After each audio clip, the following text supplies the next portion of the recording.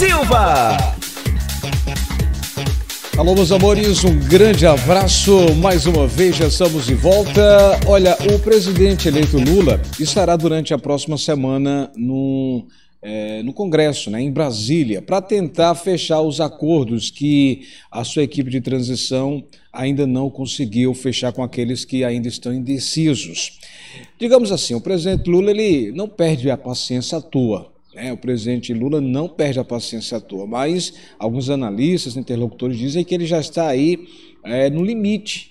E aí vai para Brasília para tentar resolver esse problema é, da PEC, dos 600 reais e 150 reais é, do auxílio para as crianças de até 6 anos. O que é que chama atenção nesse momento? Você que faz parte do Auxílio Brasil, é importante você ficar atento a isso, porque em janeiro se nada for fechado, dos 600 voltará aos 400. Há possibilidade disso acontecer, Alex? Não. Os 600 reais vai ser fechado. Qual o problema nesse momento? É pagar 150 reais a mais às crianças de até 6 anos. As crianças que têm mais de 6 anos, essas famílias não terão direito. E aí existem duas opções, duas possibilidades. A primeira seria pagar 250 reais aprovando o Vale Sacolão, que é um projeto que está na Câmara, e a outra situação seria pagar justamente a cota dupla às mães-chefes. Então, são situações em que a gente precisa estar acompanhando. O Rodrigo Pacheco, ele deixou bem claro que essa situação será resolvida, será solucionada. E aí, ele, durante a entrevista, ele trouxe detalhes como vai é, resolver esse pepino, essa, essa problemática toda. Então, você que está aí na dúvida, eu vou mostrar para você o que é que está sendo é, debatido, pautado, o que é que vai ter de novo, né? o que é que vem por aí sobre essa situação dessa PEC. Preste atenção, dias 29 ao dia, dia 30, terça ou quarta-feira, será a primeira é, votação no Senado Federal. Primeiro, deixa eu mostrar aqui o que disse o Rodrigo Pacheco. Acompanhe. Neste momento, nós temos é, uma situação mais emergencial em relação ao espaço, porque é em janeiro que precisa ser implementado.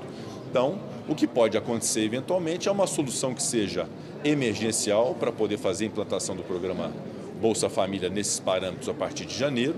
E a discussão relativamente à âncora fiscal, à forma e ao método de se ter é, qualidade de gasto público e responsabilidade nesse gasto público que leva em conta a dívida pública, leva em conta o crescimento e produto interno bruto e o próprio teto de gastos como está concebido, é uma discussão que pode ser feita ao longo do tempo também para poder se identificar como fazer o crescimento do país considerando a necessidade de ter responsabilidade fiscal, que hoje está materializada no teto de gastos públicos, que eu sempre apontei como uma conquista do povo brasileiro em termos de responsabilidade fiscal, mas toda essa discussão haverá de ser feita com, com bastante zelo pelo Senado Federal e nós vamos dar solução a todos esses problemas.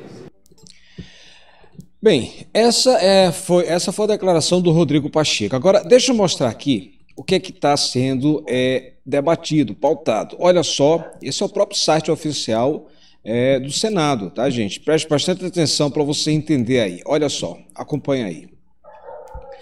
Bem, sobre as emendas, é a minuta da PEC também abre espaço para que a equipe de transição insira gastos no orçamento do próximo ano, pelas emendas do relator geral. Segundo o texto proposto, o relator poderá apresentar emendas relativas a pedidos de transição e elas não precisarão seguir os limites aplicáveis às emendas orçamentárias. Essas emendas deverão ser classificadas excepcionalmente nas rúbricas RP1, que é despesa primária obrigatória, o RP2, despesa primária discricionária, em vez de rúbrica RP9, que identifica as emendas de relator. Aí, o relator geral do orçamento 2023, que é o senador Marcelo Castro, que deverá ser o primeiro signatário da PEC de transição. Olha só as exceções. O que está no texto. A PEC poderá abrir outras exclusões do teto de gastos, além do Auxílio Brasil ou do programa que vier substituí-la a partir do exercício financeiro de 2023, ou seja, a Bolsa Família. O que está em pauta são esses pontos. Vamos lá. Projetos socioambientais, projetos socioambientais e relativos às mudanças climáticas que sejam custeados por doações.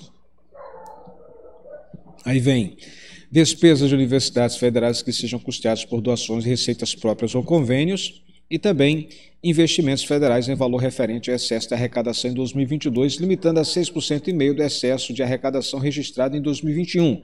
Nesse caso, a despesa também não seria considerada para o cálculo do resultado primário. Então, o, o documento apresentado pelo vice-presidente Geraldo Alckmin, que é coordenador da equipe de transição, não é proposta que vai tramitar no Congresso. O vice-presidente eleito ele explicou que ele traz apenas sugestões para compor o texto da PEC. Este será elaborado pelo senador Marcelo Caixa após negociação com as licenças, é, com as lideranças do Senado. Apenas sugestões. E essas sugestões é que está tirando a paciência, alguns interlocutores dizem, do presidente Lula, porque já era para ter sido solucionado, já era para ter sido resolvido tudo isso. Você está entendendo agora o que é que está em pauta, o que é que está sendo, está tá gerando tudo isso? Então, o que é que acontece? O presidente Lula, vários sites, vários jornais, vem falando o seguinte, para você entender aí toda essa problemática, toda essa discussão. Na Folha de São Paulo diz o seguinte: por PEC, Lula entra em campo com viagem a Brasília nessa segunda. O presidente eleito vai passar a semana na capital federal e deve se encontrar com o Rodrigo Pacheco e também com Arthur Lira, diz a presidente do PC, Gleice Hoffmann. Para que isso? Para tentar em tempo hábil conseguir os novos apoios. Tem gente que quer apoiar esse projeto, mas sabe, quer apoio. O que é que eu ganho com esse apoio? O que é que, o que, é que a gente pode antecipar agora, já que o presidente Lula só pode assinar alguma coisa no próximo ano, porque agora ele não manda, né? agora ainda é o presidente Bolsonaro. E aí ele vai como se fosse tentar fechar o acordo, né? assegurar esse acordo, ter os, a quantidade mínima de votos, né? a quantidade mínima de votos para poder aprovar o projeto. Então o presidente Lula, ele vai a Brasília, na segunda-feira, dia 28 de novembro, para discutir com o Congresso o formato da proposta, né? essa PEC, de transição que tem como objetivo abrir espaço no teto de gastos para bancar as despesas como Bolsa Família de R$ 600 e 150 reais por criança. E aí, a própria presidente da, do PT, a Grace Hoffmann, ela já vem falando que é necessário acontecer essa visita, né, essa presença, porque aí garantiria uma fórmula né, ou uma forma de é, ter os apoios necessários, como você está vendo aí. Essa é a presidente do PT. O Alex, essa, esse disse-me disse só porque é para ajudar a população mais simples, mais carente. Tem uns projetos aí que o atual, né, o presidente que foi eleito, o, o Lula e toda a sua equipe, eles querem aprovar tudo isso nessa votação, ou seja, deixar o país, o Bolsa Família e os 150 reais fora do teto de gastos durante os próximos quatro anos, 2023, 2024, 2025, 2026, para não precisar no próximo ano fazer outro debate. Já o, a equipe do presidente Bolsonaro quer apenas um ano e sem os 150 nesse ano. Só para um ano eles querem votar. Vocês estão entendendo? Por isso está tendo esse, esse debate, né? Essa, esse disse-me-disse. disse e para correr o risco da PEC não é, ser reprovada, não conseguir passar no Senado, o presidente Lula vai tentar angariar novos votos, ou seja, vai tentar apoios. E aí vai manter os contatos, os parlamentares que estão indecisos, os, os, os partidos que estão indecisos. Vem para cá, o que é que vocês querem para apoiar esse projeto? E aí começa aquelas conversas, tá? Então é só isso. É o que, é que vai acontecer nessa semana, tá? Vocês estão entendendo, pessoal? Está claro sobre isso aí? Muito bem. Você já deu joinha, já deu like aqui, importante faz isso, você que gosta do nosso trabalho, você que aprecia as nossas informações aqui, é para você se inscrever. Está vendo aqui embaixo o nome inscrever, destacado de vermelho? Clica nele, fazendo isso, vai aparecer um sininho. Perdão, é, nesse sininho você clica em todas as notificações, para quê? Quando tiver vídeo novo, o próprio YouTube irá avisar você. Combinado? Fez isso? Estou confiando em você, seja bem-vindo aqui ao nosso canal, canal Campeão. Olha, deixa eu dar duas notícias aqui é, que é importante. Primeira notícia.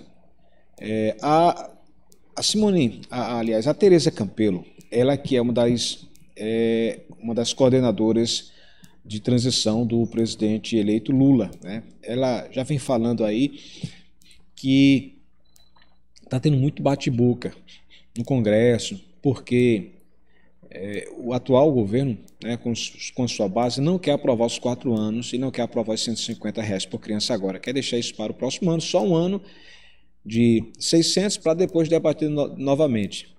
E os 150 por criança, eles vão querer aprovar, mas não agora. Eles vão querer debater depois do recesso, ou seja, só no próximo ano. E aí, a Tereza Campelo, ela vem falando o seguinte: com o PT, com o, PT o combate à fome virou política de Estado. Né? E ela já vem falando que a redução da pobreza e das desigualdades, o crescimento com a inclusão. Para quem não conhece a Simone Campelo, é essa daqui. Tá? Ela já foi ministra da ex-presidente Dilma Rousseff. E ela é provavelmente uma das fortes, fortes candidatas para ser ministra. Era Simone Tebet, ministra da, da, da, Cidadania, ou seja, vai tomar conta do Bolsa Família, do BPC, enfim. Tá? É uma, é uma, é uma questão delicada essa votação, porque se você, você pressionar muito os parlamentares que estão indecisos, você termina perdendo voto. Por isso que é necessária essa viagem do presidente Lula para tentar fechar esses acordos, ok? Outra situação que está chamando muita atenção é a situação do Vale Gás. Tem gente dizendo, Alex, o Vale Gás vai acabar no governo Lula? Não. O Vale Gás só acaba depois que pagar as 36 parcelas, é lei tá, gente? Então paga um mês sim, mês não. Dezembro vai ter o Vale Gás de volta, vai pagar aí 100, 105, 112 reais. A gente está esperando o valor, mas é 100% do Vale Gás. Quando for em janeiro, para e volta em fevereiro com 50% do valor nacional, tá? Aí depois que pagar as 36 parcelas, o Vale Gás é que acaba. Se o governo Lula quiser é, renovar, aí cabe a ele, ok? A questão do empréstimo consignado vai acabar? A tendência é dar uma, suspen... É, é dar uma parada.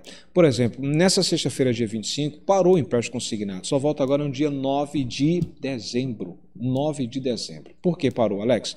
A Caixa Econômica pediu, e já tinha avisado isso, que todo mês ia fazer uma parada para rodar a folha de pagamento. A folha de pagamento vai ser rodada agora do dia 12. 12 de dezembro, com o final do início. Por isso que está tendo essa parada, tá?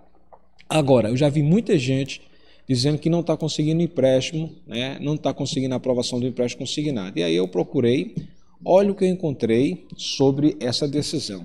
Parece que vai ficar mais difícil agora você conseguir um empréstimo pela Caixa. Últimas atualizações, últimas alterações de parâmetros do empréstimo consignado, mudanças e orientação de atendimento. Ó, as mudanças. Alterações nos critérios negociais de aprovação do consignado auxílio, a orientação do atendimento. Quando o cliente não for aprovado, será apresentada a mensagem não há oportunidade de contratação do crédito consignado para você. Caso seja aprovada, a contratação seguirá sem necessidade de qualquer ação adicional pelas agências ou demais canais na mesa GS, é, GECSI, como ocorreu nos momentos anteriores. E aí vem outra mudança, atualização da base restritiva. Ou seja, restritiva é para não liberar. Aí a orientação do atendimento é: os parâmetros de base restritiva foram atualizados e carregados em todos os canais. As agências poderão consultar se o CPF está é, inscrito na base restritiva do painel, no painel GE-CSI, disponível aí nesse endereço consignado da Caixa. Ou seja, quem está com o nome sujo no SPC Serasa negativado, com essas mudanças, praticamente vai dar um adeus à chance de conseguir empréstimo. O Alex, isso aconteceu por quê? Qual o motivo principal? O que, é que a gente pode tirar aqui de proveito? Né? O que, é que a gente pode entender? Bem, deixa eu explicar aqui uma coisa para você entender. Você sabe, para fazer um resumo, alguns sites falam sobre isso, mas uma manchete que explica bem isso, essa manchete aqui que saiu no diário, aqui saiu no UOL, que diz o seguinte, ó, Caixa muda regras e corta liberação de crédito após derrota de Bolsonaro. Tá? Pronto, isso aqui resume a história. Depois que o presidente Bolsonaro foi derrotado, a Caixa voltou atrás e alterou várias regras. Ou seja, para conseguir empréstimo agora vai ser muito mais difícil. Tá, gente? Não vai acabar, mas está muito mais difícil conseguir. Você tem que estar o nome praticamente nome limpo, ou seja, uma série de dificuldades agora para alguém tentar conseguir esse empréstimo. Quem conseguiu, conseguiu. Quem não conseguiu, vai ter um perrengue, vai ter dificuldade para conseguir. Tá? Resumo de obra é isso aí. Terça-feira ou quarta-feira deve dar um início aí a votação do futuro dos 600 reais do auxílio, né, que agora vai ser Bolsa Família, e também os 150 reais por criança de até 6 anos. Lembro mais uma vez, a PEC sendo aprovada no Senado segue para a Câmara Federal. Passando na Câmara, aí a gente vai ter os pagamentos já no início do próximo ano, em janeiro, ok? A, a situação do auxílio sacolão 250 reais a gente só pode cobrar depois do resultado da PEC, eu lembro. Décimo terceiro esse ano não tem, próximo ano a gente vai cobrar. E também a cota dupla de R$ 1.200 das mães-chefes. Esse ano não tem. Para o ano a gente vai cobrar para que seja aprovada. Então deixar bem claro isso. Tá, pessoal? Tranquilo aí? Muito bem. Olha, isso quer dizer que Lula ele vai para Brasília fazer essas cobranças. Pois é. O presidente Lula agora eu não quero usar o termo ele perdeu a paciência, mas ele vai tentar costurar os apoios, porque tem muitos aí que não querem votar nesse projeto, por mais que os integrados, os parlamentares da equipe de transição de Lula tentaram, não conseguiram ter o apoio de todos. E esses que estão indecisos ou querem apoios, né, querem troca de parcerias, verbas liberadas, querem garantia. Aí o próprio presidente Lula eleito é que vai tentar resolver essa parada, tá? Se Lula não resolver, aí fica difícil conseguir os votos necessários. Aí ficaria só para o próximo ano, né? Mas aí é aquela coisa. Se a PEC não passar, é via MP, né? via medida provisória, não tem o que fazer, tá, gente? A segurança é que vai ter os 600. A dúvida são os 150 reais. A dúvida é essa. Tô lá no Instagram, lá no blog Alex Silva. Ó, quem mora só, atenção, hein? Quem mora só, faça sua atualização. Recebeu o comunicado, a mensagem do governo, atualize. Quem recebeu alguma mensagem de atualização de frequência escolar do seu filho, se o filho não está matriculado ou está matriculado, mas o governo não conhece qual a escola, faça a sua atualização, vá na escola, depois vá no CRAS e atualize. Uma lista grande de bloqueados vai ter aí em dezembro, mas eu quero lembrar o seguinte, isso é mais para as pessoas que não atualizaram naquele prazo, de até o dia 11 de novembro. Teve muita gente que não atualizou e agora poderá ser suspenso em dezembro, tá gente? Estou no Instagram, segue a gente lá, blog Alex Silva. Abraço forte, a gente se conta. Tchau, tchau, pessoal.